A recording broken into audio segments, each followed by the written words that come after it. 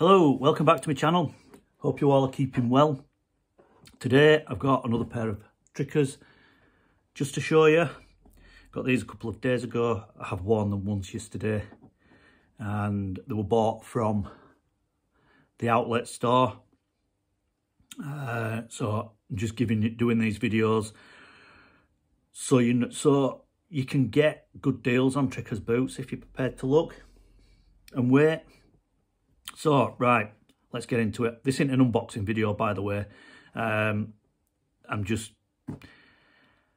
I wasn't going to buy a pair of these boots in this colour, but they've kind of grown on me. And they were at good money. So I thought, what the hell, let's go for it. These are the acorn colour with the double leather sole. So, usual things in the box with the bags, we're not interested in the boot bags.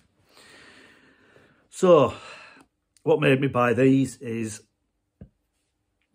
like I say, the colour's just grown on me a little bit, and it is a nice colour. It's a bit light, but, you know, it is what it is. And the leather soles, double leather sole, like I say, they have been worn and they are very comfortable.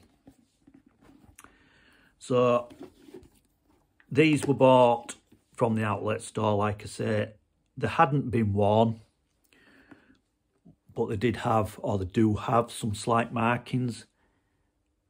If your camera will pick it up, just around here and there. And there is a slight mark there. But other than that, on this boot, it is pretty much all right.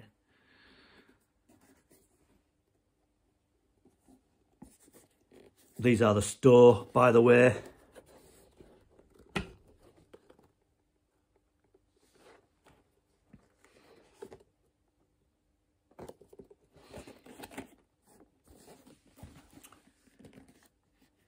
This one has some slight marking down the side, but I think that's from me wearing them yesterday, but it did have that marking there.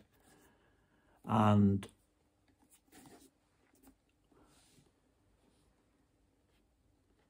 it's hard to pick up on the camera, but some of the dye from the welt has kind of gone onto the boot.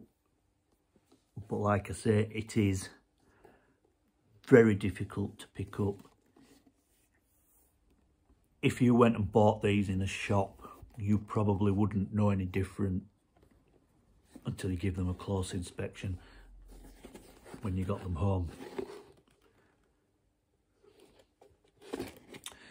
Yeah, so um, if you want good value for money, which I do, and you're prepared to look and wait keep checking the outlet store. I do believe they ship worldwide.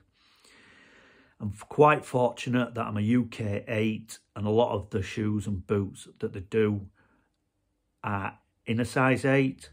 I believe when there are sample sale or a second that they have just been on the shelves or I think the other the other ones the the burnished brown that I had because I sold on because I wasn't right keen on the Dainite sole. I believe they, they do samples in different leathers. And that's where um, then they put them back up for sale. If they if they decide to go on with it if they don't decide to go on with it the design or the leather. So yeah. There we have it another pair of Trickers boots and these were £250 delivered. you can't go wrong. You really cannot go wrong. Now, I aren't sponsored by Trickers.